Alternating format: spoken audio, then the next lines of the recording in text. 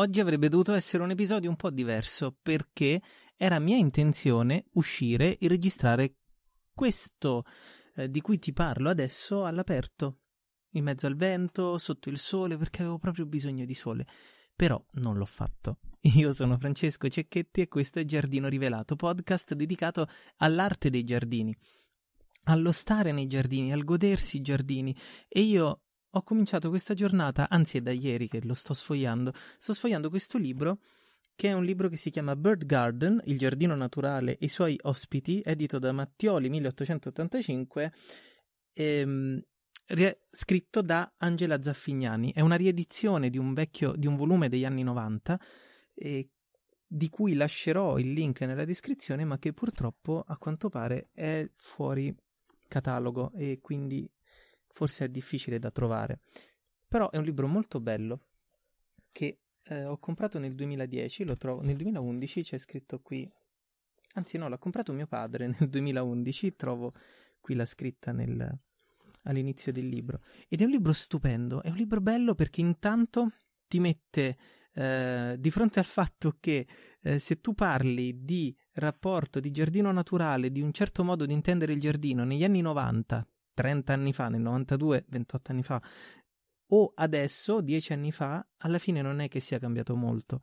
C'è forse un po' più di glamour, c'è forse un po' più di fashion, però quando parliamo del rapporto degli italiani con la natura ci siamo sempre sentiti obbligati a specificare che gli italiani la natura non la vogliono. Non la vogliono perché è difficile, perché è dura, perché devi combattere contro questa natura che è aggressiva, aspra, eh, con le spine, velenosa, insomma, è una cosa che si va sempre a eh, sottolineare. E invece come non ci sia un equivalente italiano per dire bird garden perché è inglese, gli inglesi invece la natura la vogliono, la amano e tutte queste cose, anche se eh, questa utopia inglese di ogni casa con un giardino, questi paesaggi meravigliosi può eh, essere ingannevole e anzi ehm, sto pensando proprio che magari domani eh, parlerò di questa cosa, di, questo, eh, di questa illusione che basti il giardino per risolvere i problemi, basti che le cose siano belle, basti un albero. In realtà di questo ne abbiamo già parlato, però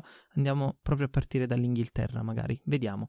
E comunque, questo libro è molto bello e ci sono tanti consigli, eh, tante. Mh, mm, tanti bei racconti, un bel modo di raccontare questa possibilità di realizzare dei giardini che attirino uccelli, farfalle, pipistrelli, animali e ti spiega anche il motivo per cui fare una cosa del genere e anche come farlo su un terrazzo, su un balcone, parla di eh, balconi a Milano, quindi insomma utopico, quasi utopico, e in più i disegni bellissimi di Gabriele Pozzi, che eh, sono quei bei disegni dei libri di una volta. Ecco, adesso faccio il romantico. Beh, insomma, da ieri che sto leggendo questo libro volevo uscire, avevo bisogno di sole, sentire il sole sulla testa e quindi ho detto quale modo migliore per registrare il podcast se non farlo all'aperto. Ogni tanto l'ho fatto, quindi mi sono armato di telefono, microfono, sono uscito, ho cominciato a registrare e non mi convinceva perché stavo pensando a mille altre cose. Pensavo a mille altre cose e quindi non riuscivo a convincermi e mm, dicevo cose sconnesse, senza senso, eh, insomma, non sentivo di registrare una cosa che poi non ti avrebbe lasciato nulla, non ti avrebbe nemmeno dato lo spazio di ragionare, magari sì, per, perché sicuramente sai trovare un senso eh, nelle cose anche più astruse, però Insomma, non mi pareva di farti giustizia eh, registrando una puntata che non, non, mi piaceva, che non mi diceva nulla. Quindi alla fine sono rientrato, mi sono dedicato a un'altra cosa. Eh, sto preparando un webinar insieme al geologo vulcanologo Guido Giordano di, dell'Università Roma 3 domani eh, sull'abbassamento del livello la- del lago Albano e del lago di Nemi in provincia di Roma, eh, sul rischio paesaggistico, il rischio geologico. Quindi, sai quando ti lasci prendere da queste cose? E e niente, alla fine eh, siamo arrivati a stasera e credo sia la prima volta da quando esiste questo podcast che pubblico così tardi. No, forse una volta in Inghilterra l'ho pubblicato verso le 8 di sera, non lo so. Comunque, insomma, il... è nata questa giornata eh, all'insegna di un podcast che voleva essere libero, ma poi per essere libero mh, mm, mi sono trovato senza senza mm, come si dice, eh, senza una linea da seguire, senza un, um, un qualcosa che valesse la pena dirlo per dire perché mi sembrava di dirlo in maniera sciatta, in maniera di- disordinata. E ecco, questa impressione, secondo me, è quella che ci portiamo dietro per questo famoso rapporto degli italiani con la natura. È quello che ci portiamo dietro quando si tratta di avere a che fare con le piante, quello che ci troviamo dietro quando eh, magari eh, vogliamo ingaggiare questa lotta teorica con un giardino fatto in un certo modo e sentiamo di non avere gli strumenti per farlo. E allora magari smettiamo, eh, cessiamo l'attività che abbiamo iniziato e diciamo vabbè la lascio, la rimando a un altro giorno eh, perché non ne so davvero nulla e piuttosto che fare male una cosa non la facciamo. Piuttosto che fare un giardino disordinato e che non è mm, fatto bene, che eh, può essere gestito male, che può essere come dire, troppo difficile da gestire, non lo faccio. Piuttosto che fare un giardino eh, che non sia abbastanza naturale, che non rispecchi i miei desideri, allora non lo faccio. L'abbiamo sperimentato anche nel, eh, nell'evento che abbiamo fatto la settimana scorsa in 11, in 10, eh, per realizzare un giardino da tavolo in 7 giorni, in cui questo evento, in, in, questo evento ci siamo scambiati opinioni, abbiamo parlato e ci siamo detti tante cose eh, che riguardavano una singola pianta oppure come trattare il terreno.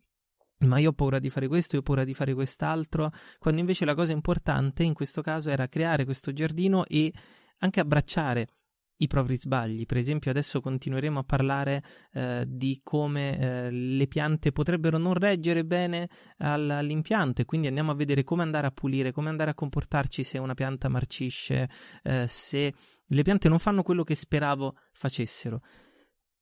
Credo sia un po' il senso di un giardino naturale. Magari io faccio un giardino che è pieno di fiori ma non attira le farfalle, che è pieno di fronde ma non attira uccelli che è pieno di zanzare ma non attira i pipistrelli e quindi io mi sento di aver eh, sbagliato.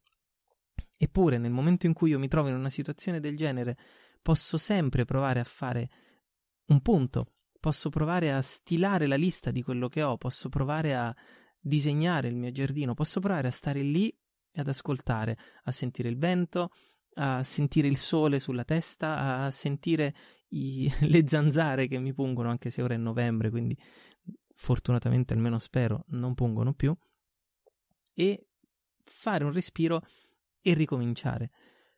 È un po' l'idea del giardino, è un po' l'idea, lo diciamo spesso, del giardino digitale che stiamo costruendo. Noi impariamo a fare i giardini in questo modo, impariamo a creare una mentalità paesaggistica, impariamo a, a sviluppare un modo di vedere le cose che è proprio di una persona che con la natura sa di non poter vincere, ma sa anche di poterci collaborare e sa che tutto quello che non sa, pian piano, forse, non tutto, ma molte cose, le può imparare.